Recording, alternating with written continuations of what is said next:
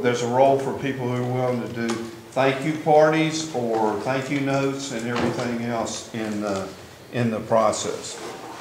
Um, And then we, this is just realizing in the major gifts side that um, it takes a while to get major gifts. And that's part of our concern is that we need to make sure we do things right and just not rush something that can't be uh, rushed. We're gonna have to have a lot of contacts with people before we can get a gift. And that we're gonna have to have more prospects than get, than we get gifts. Um, I want to say in particular that in plan, excuse me, in the capital campaigns, we talk about three pockets of money. Most people give to their churches, give to the annual funds out of income. When we get to capital campaigns, people are willing to give assets, stock, IRA transfers, different things like that for special projects. And then the third pocket is through the will and bequest.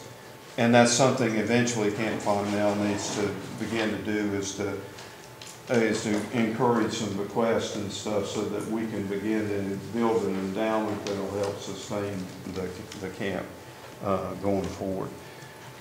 This is the other thing I like to, um, have board members challenged to do is if a donor, and this really happened in Charlotte, a guy came up to somebody, we were playing golf, and he said, you know, I sold my company last week, and I've got to give away a million dollars before the end of this year. This was October. And the board member for a community college said, well, let me tell you what we can do. And the next thing you know, there's like a three million dollar, it wound up being like a three million dollar scholarship program that came out of a conversation on the golf course because people were ready. The thing we need to do, and especially as we get into this campaign, if somebody said, I just sold my company, what are you gonna tell them you need? You're gonna tell them about the, new- the new retreat center. But we need to have the rationale, not just we need a new building. But I am so excited about what that retreat center is gonna do to the life of Camp Fontanelle. Too often the church said, well, we'll put it in the bank. Wrong answer.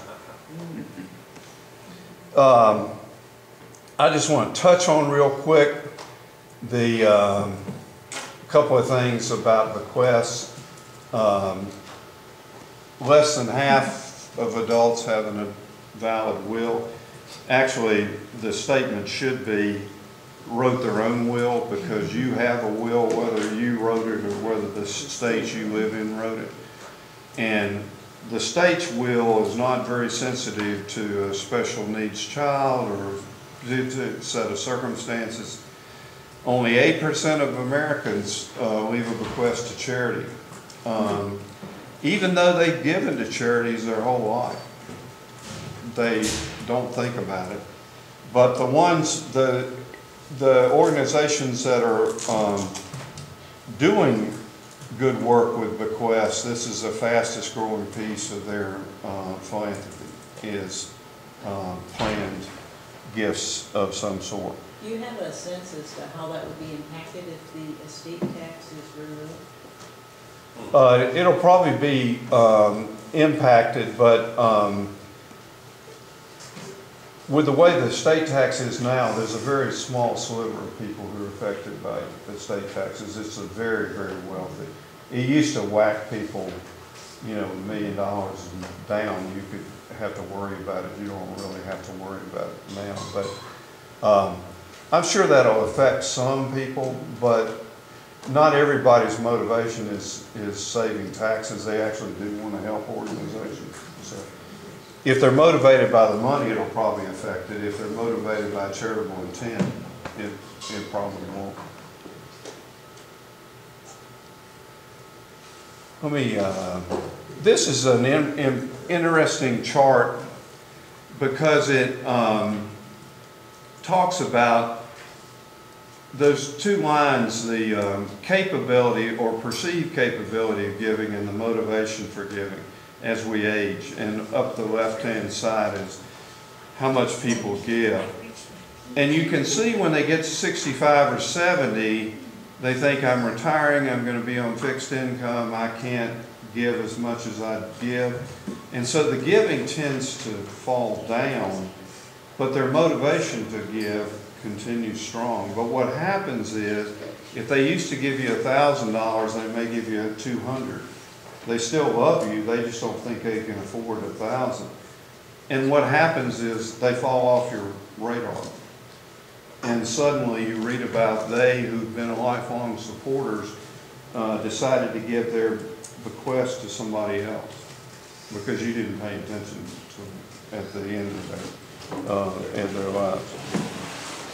Now, let, let me just, George can skip. I'm going to bring, just talk for a minute about, uh, you'll see the rest of the slides. Um, Here's the, look at that bottom piece, a bold vision by big God shared by brave leaders produces bodacious bucks in our experience. Um, now, let's talk about your role as a site board and as people who are working on this campaign. The reality of too many boards, you're not passionate about the mission. You think only fundraising is only about asking for money. And we wind up with board meetings, no passion and lackluster participation. What I want to push is, and our experience has shown, your site committee, the people who are in this room today, want to be involved at Camp Fontanelle, want to see it done, want to use their talents, want to make a difference, and um, enjoy, here we go back to the joy of, of service, and make new contacts. The attitudes about fundraising that most people have are this, I'm nervous about it, it's the F word, um, it, it's awkward, I don't like asking friends, it seems unseemly, you know, all those things, we don't want to harass people, and so we don't ask. Um, hopefully, when we get in this campaign, we'll do it in a different way. And so we get these kind of attitudes, I'll do anything but ask for money, all they ever want me to do is raise money, fundraising is dirty work, I'm giving my time, isn't that enough? Isn't that the staff's job?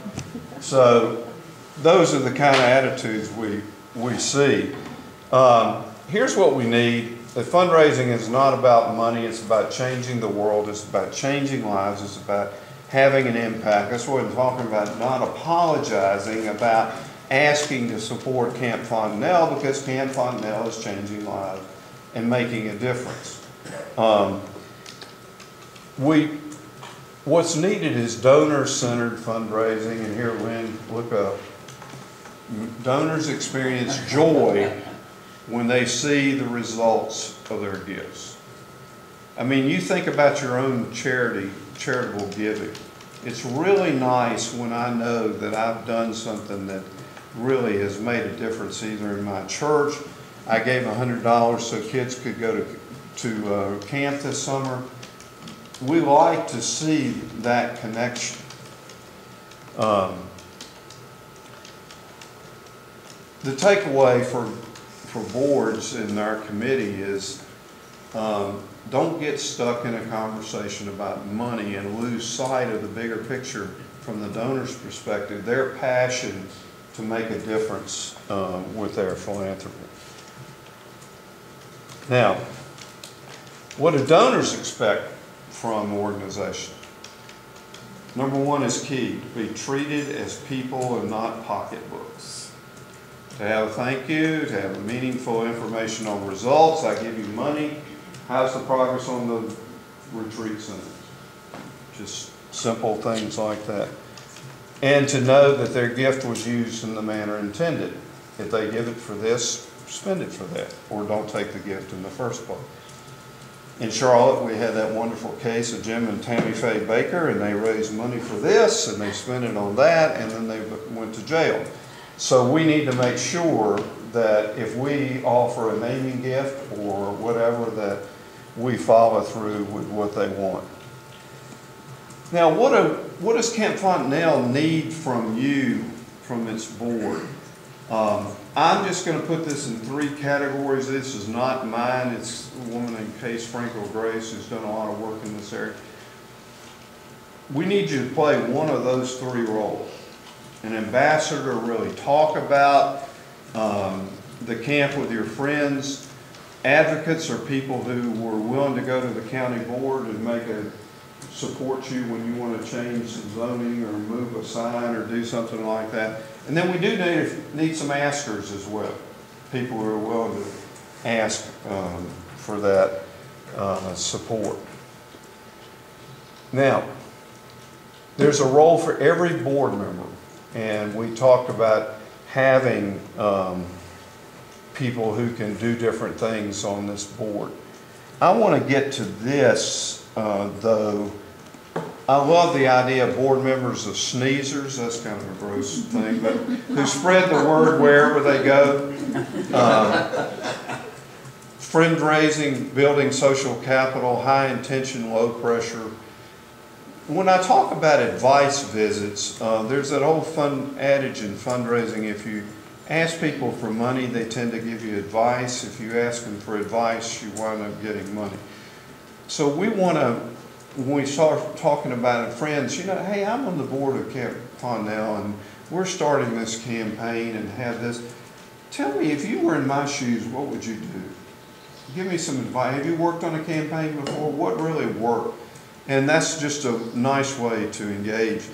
And the type of thing that, that Trent did with, uh, with George and me yesterday, a tour, just a wonderful tour out here. And our eyes were opened again to the number of, just amazing number of stuff and activities that people can do out here. But again, it's not about the activity, it's about what the activity produces in the child, the confident, um, confident child. Um, and then finally, um, one final thought.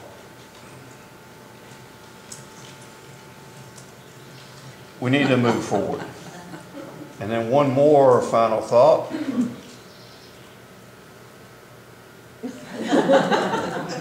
And then even one more final thought.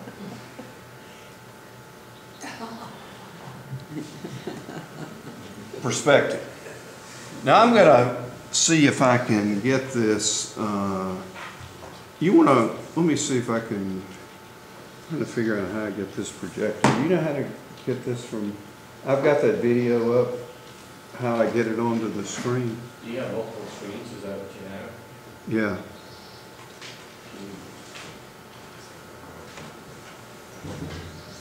It's not showing up on the, let me see if I can get it. Yeah. See, Now move do PC down screen. alt tab. Oh, okay. Now minimize your, Minimize it doesn't seem to be happy with that. No, it doesn't. I tell you what, I will send you these two videos that I hope you'll take a look at. Um, and in the meantime, do you have it on your thing that you I think? have the you- one, yeah. Put it up here and let's see if we can get that done, at least.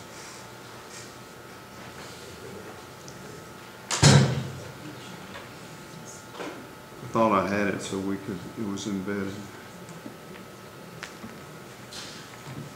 Why don't we take a, I was just gonna say, why don't we take a break while we're doing this and then come back and George is gonna lead us in the last part of the, But you're gonna also supply us with a PowerPoint Yeah. presentation. yeah, yeah I'll send you the power. Look,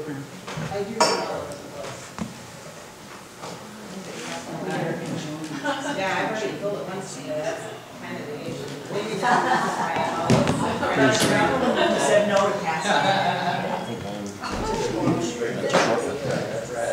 So, so where did you, did you put together the bound, um, package, visuals, what we call it?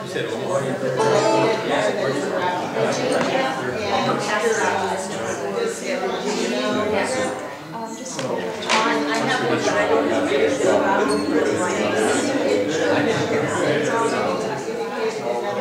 That the, um, Yeah, is that today's presentation? no, that's, that's the visual. Thank you. Like, no features. Let's put that together. But I think it's, I have that, but if you don't know the garden, it's got some information on the back. Most people said Oh, that. film it actually. So we need to get, We have to check the fees. Well, I would think for, it's not And Trent, there are, I ran thirty and I stuck a testimony. Um, there, yeah, you're pretty good. So there's lots. So, so those are the ones that were handed out, and those ones were there, so they got it, so they're. Okay, and then. Yeah. Yeah. There's one testimonial. Yes, and, and this one is from a, um, uh, yes, yes.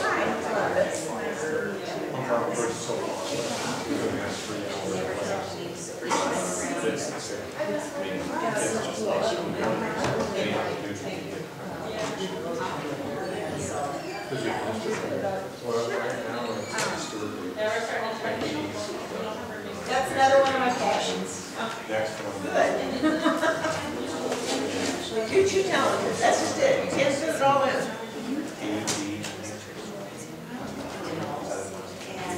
Stuff not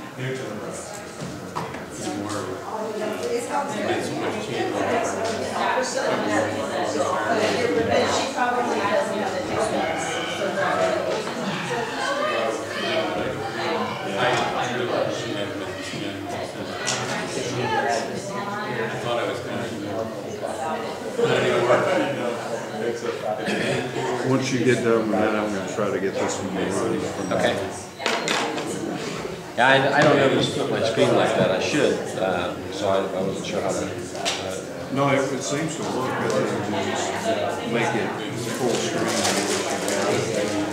yeah.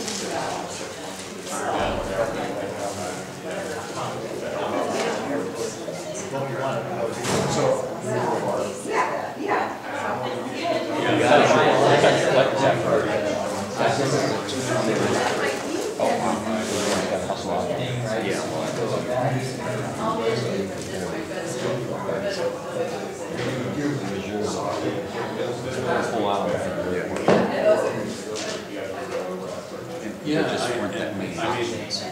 I, I mean, Especially if you got connecting flights.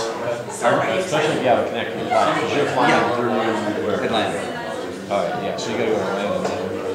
and from Atlanta back to Columbus, so, yeah. I can't remember. Yesterday, I had two and a half hours in between. Time was like, flight out of Columbus. That's, uh, so one of my colleagues lives like, uh, he just moved up near, uh, probably an hour from Nashville, Greenville. From Greenville. So he flies out of Greenville. He said that flight gets canceled a lot, so it Yeah. takes the last one of the day. But, uh, he had uh, Thursday afternoon, he was going home, he was gonna, he had thirty-five minutes. And he had to go from B to D in Atlanta. I'm going, I don't think that's gonna work too well. Well, I, I, I can't believe the way they even set it up with thirty-five minutes. No, you know what? Because you just can't, you can't